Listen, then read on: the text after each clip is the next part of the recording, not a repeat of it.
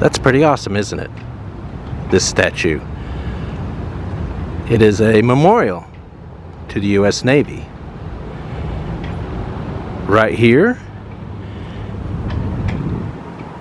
in Jacksonville, Florida. That's the St. Johns River. The city's built on either side of it. Beautiful town. Um, you know, when we started out on this long road trip, the wife and I, before we were going to start visiting the small towns, we wanted to see every big city. Well, we still got a few left, a handful that we haven't been to yet. Columbus, Ohio, uh, let's see, San Jose, California, Washington, D.C., to name a few, and Jacksonville, Florida is one of the ones that we hadn't been to yet. Well, in 2021, the city population was 955,000 people, close to a million. In fact, the city will probably hit a million within five to 10 years. But that said, uh, the true measure of a city is its metro. And uh, Jacksonville's metro is 1.6 million. 1,637,000. So, uh, city population, Jacksonville is 12th largest in the United States. But in terms of its metro, it's 39th. Uh, city population, it's first in the state. Metro population, it's fourth. The biggest, of course, is the behemoth that is Miami. Miami's metro is 6.1 million people and is the ninth largest in the country.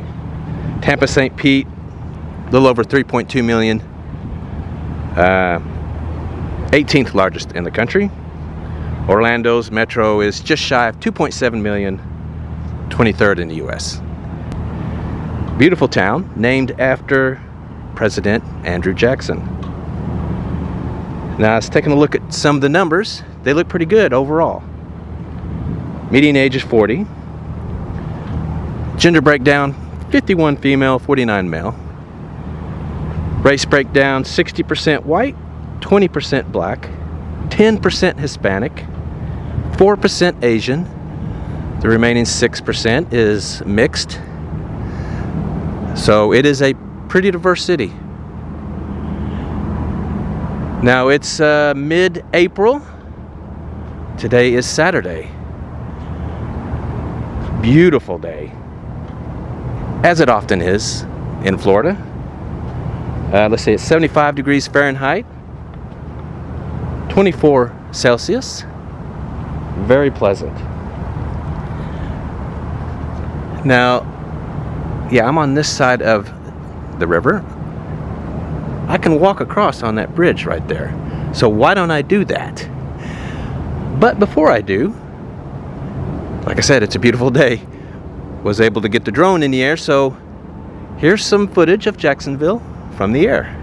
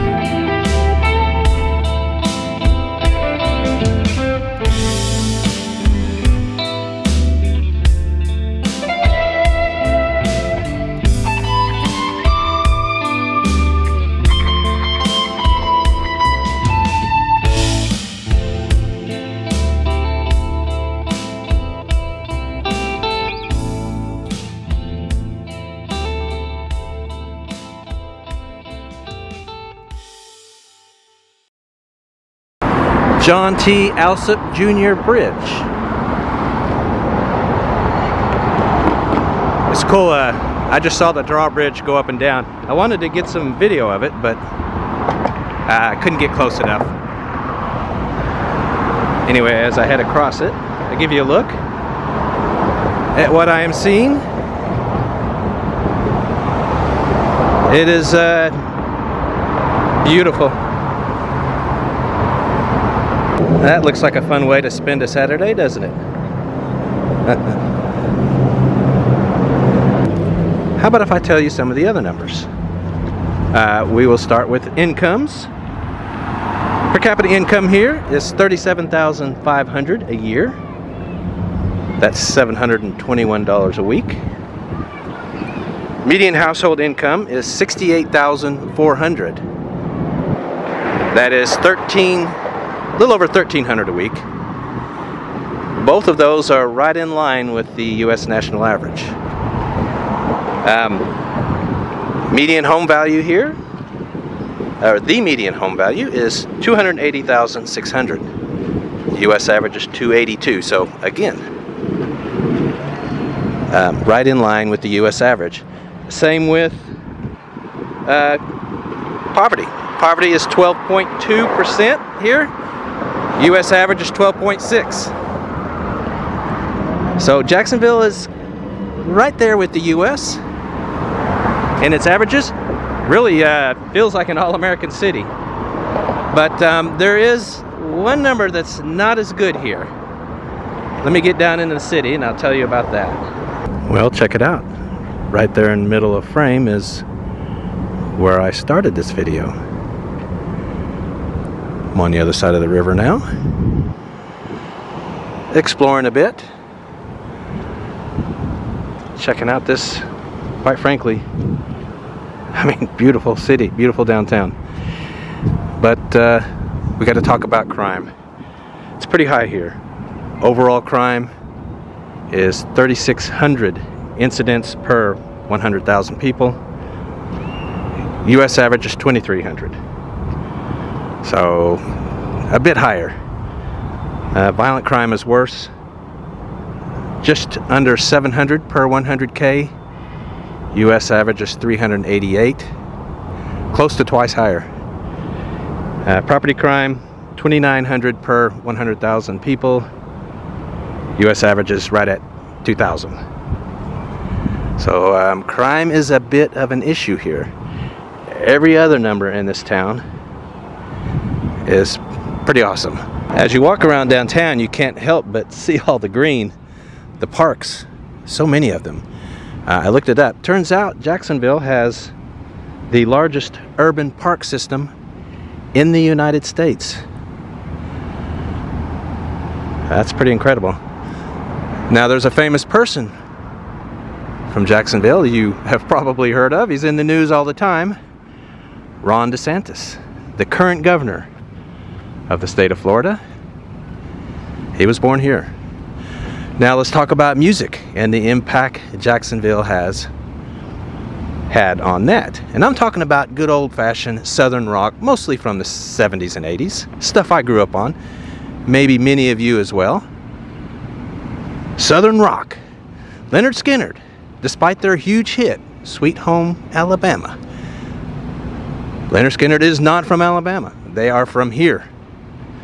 This is where they formed, right here in Jacksonville. So did 38 Special. So did Molly Hatchet. So did Blackfoot.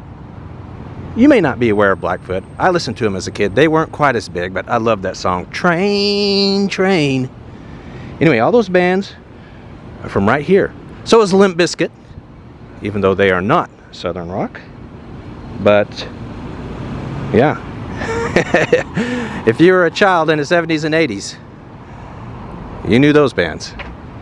This is the Florida Theater, built in 1927. An iconic building here in the city. On a National Register, as you can well imagine. And it looks like it's in operation. You think uh, we can go inside? Should we try? Nope, doors are locked. But we can look this way. How about if we look this way? Give you a look. Beautiful, isn't it? Well, let's see what else I can find. Still looking around. There's a mural here. I'm not sure who that is, but they've got lights strung around him to illuminate, uh, illuminate him at night, it looks like. Hey there. Anybody know? Who that is? Yeah, who is it? A. Philip Randolph. Who? A. Philip Randolph. And who's he? He is, I think, one of the first black members in the Union here in Florida, in Jacksonville. Okay, well, they've got him a nice mural here with lighting. I like that. That's pretty cool. Thank you for that. That was a nice lady standing right there. she answered the question. Look, there's another mural over here, too. I was wondering if Jacksonville had murals. I'm seeing a few. Now, I don't know what that is either. Maybe someone can explain it. Now, one of the things I enjoy about wandering around downtowns is finding little treasures that I didn't, you know, find while researching. And here's one. This is the Bedell building. Now, I was going to tell you this earlier, but the city of Jacksonville, at least its downtown, was destroyed in the early 1900s, 1901, I believe. Now, when they began rebuilding, this was one of the first buildings built. Completed in 1905, this was the Carnegie Library. Now, they've moved the library since, but uh, I believe it's set and empty now, but it is in the process of being restored. Neoclassical architecture, that's gorgeous. Now, here in the shadow of downtown's tallest buildings is this, the First Presbyterian Church. Uh, hopefully, you can see it. It's sun is to the other side there, so it's kind of in the shade. Beautiful though. Built in 1902. The original was destroyed in the fire I told you about. And so, yeah, they had to rebuild it. Here it is. Absolutely gorgeous. Basilica of the Immaculate Conception.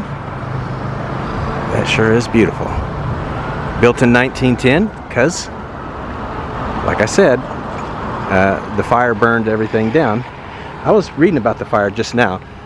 2,400 buildings here in downtown Jacksonville were burned to the ground.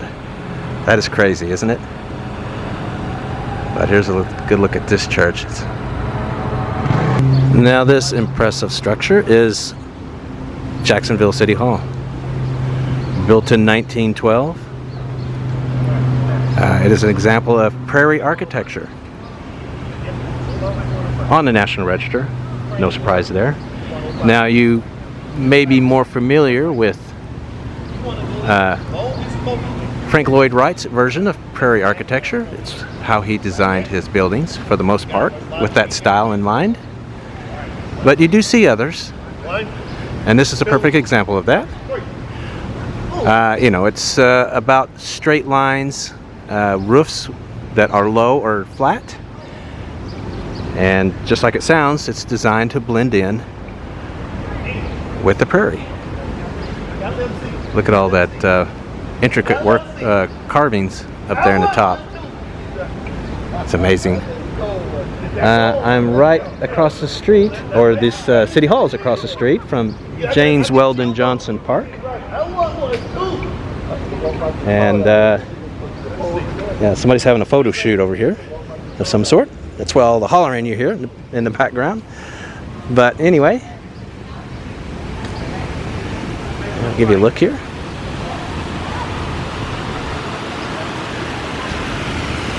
Yeah, it's beautiful. I bet the kids love it here in the uh, summer when it gets really hot. Got a bunch of kids here now, but you can see some fountains over there I think that they can get into. Well, I'm in a part of downtown that's not quite as nice. A lot of homeless over here. Uh, I ran across this abandoned school. I'm going to give you a quick look at it. It's all chained up now. Uh, let's see what it says. James Weldon Johnson. Uh, I guess that's who this high school is named after. They got a placard over here. Let's see what it says. Let's see, Old Stanton High School. This magnificent building was built in 1917 after the Great Fire of 1901. Yeah, the fire I told you about. Earlier structure on the site, or replaced that, named for Lincoln's Secretary of War, Edwin Stanton. Right, Edwin Stanton, uh, who was instrumental in creation of the Freedmen's Bureau. Stanton High School, founded as a grade school for African Americans after the Civil War, was expanded into the first public high school for blacks by its dynamic principal, James Weldon Johnson. Well, after the school was destroyed, fought for the school to be replaced by this all brick structure. Probably a smart idea.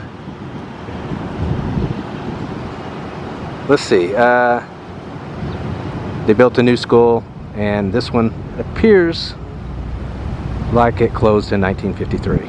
So that's a long time to be sitting empty, isn't it? Yeah, you hate to see that. All right. Well, in the shadow of this Wells Fargo building, which is very distinctive, you can't miss it, is a statue of Andrew Jackson. First governor of Florida under the United States flag, 1821. Of course, former president. His head is turned away from the sun. I guess I'll swing around. Give you a look. Somebody told me the reason they put faces away from the sun on these statues is so they won't get washed out. But you can't see them. Anyway, here you go. Andrew Jackson, after whom Jacksonville was named. Right here in beautiful downtown. Now, a few thoughts on the city. It's quite beautiful. You can see it for yourself. Uh, as I wandered a couple of blocks or several blocks out of the downtown area, though, a lot of homeless. Really a lot. And uh, I guess that makes sense. If you're going to be homeless, this is the kind of place you want to be. It's a lot warmer. Uh, like I said, the city's pretty high, uh, pretty high crime rate, and you could feel it ever so slightly out there, a few blocks out. But overall, I'm pretty impressed with the town. There's a homeless guy right there. Got a few downtown here as well. But anyway, again, uh, pretty impressed with the city. It's beautiful. We are staying at the Embassy Suites while here in Jacksonville. Pretty nice hotel.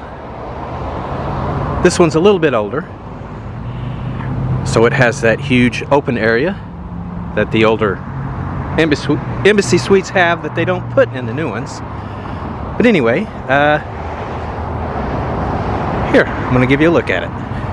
Now, Embassy Suites feel like your classic grand hotel.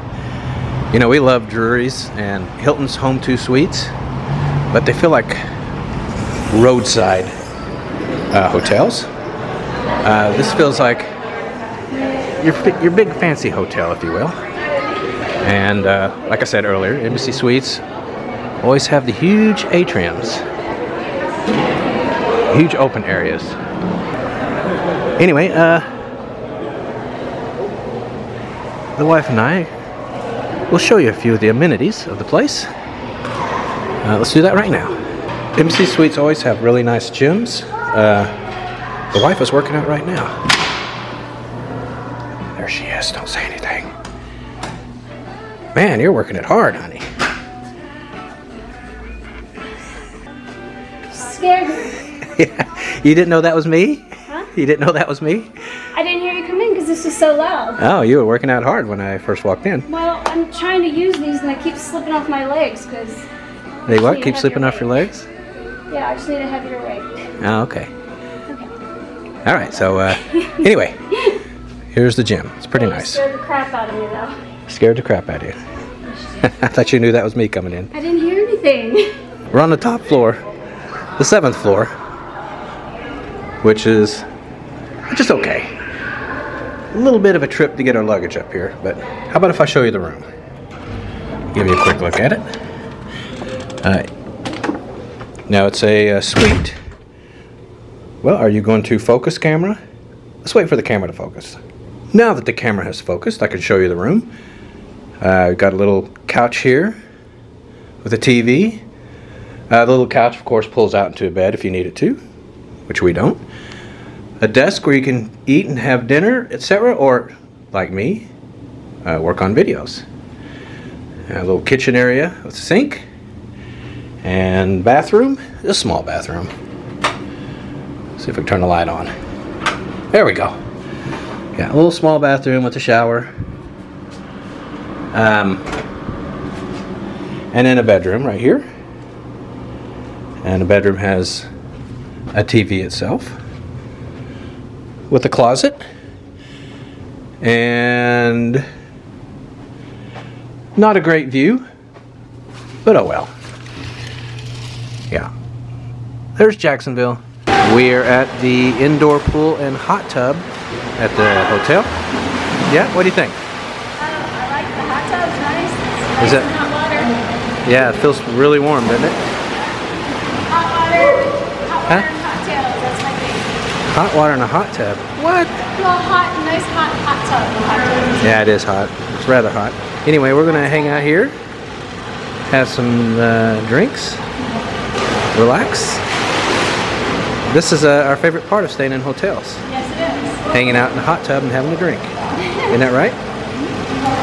So it's always nice when a hotel actually has a hot tub that works. That works. Yeah. Absolutely. Thank you, Embassy Suites. One of the things included in your stays at Embassy Suites is breakfast, and they're usually really good. So, uh, I'm gonna go check it out. All right. Well, as I sit here in the atrium, here's the breakfast. Now they've got a person at a breakfast bar continually making fresh eggs and fresh pancakes. You can get omelets too, and there's sausage, but I got bacon and potatoes, some fresh fruit and orange juice. Looks pretty good, doesn't it? Let's see how it tastes. Well, the verdict is everything tastes really good and fresh made. Fresh made makes all the difference.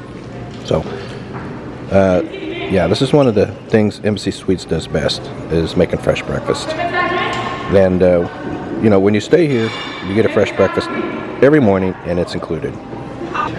All right, we are going to have dinner at the bar restaurant at the uh, at the hotel. They have an on-site full bar and a kitchen here, so ready to eat. We are sitting in the bar now, watching Jurassic Park, The first one from like what, like '93, I think. It, 95 or 96. Yes. no, the very first one was like '93. Oh, was it? Well, when it came out, it was the biggest box office movie in history. Of course, not anymore. But we've got Jack Daniels now, Yes, we did. and we've ordered our food, yes, we did. and it'll be here I shortly. got salmon. I know I've never tried it before. mm-hmm. Black and salmon. Hmm. Black and salmon. That's I've never new for you. had it before. All right, our food is here. I'm having braised short ribs, and you are having blackened salmon with salmon. rice. And I got this nice salad because I didn't want spinach, but it salad Yeah, the great. salad, yeah. Salad, salad looks looks yummy. good. Yeah, it looks very good. Right. We're gonna dig in. Well, the food's pretty good, but short ribs are basically just fancy pot roast, and it's supposed to have carrots and onions in there. There aren't any. And I checked the menu. Uh, the menu says there's supposed to be carrots and onions in there. It definitely needs carrots and onions. Uh, neither one. It's just mashed potatoes and the meat. It all tastes good, but it is missing those vegetables. My good? salad's good. My salmon's my salmon's okay. That's boring. The rice is not very good. The rice is boring. Yeah, but I mean- am still gonna fill up on it. I mean, I guess it's hotel food. yeah. What do we exactly, expect? Exactly. It's pretty good, but not great. Pretty good. Yeah, not pretty good. Not great. No. All right, everyone. That's the end of this video. We are uh, we're heading up into Tennessee next, Yay. so be looking for that.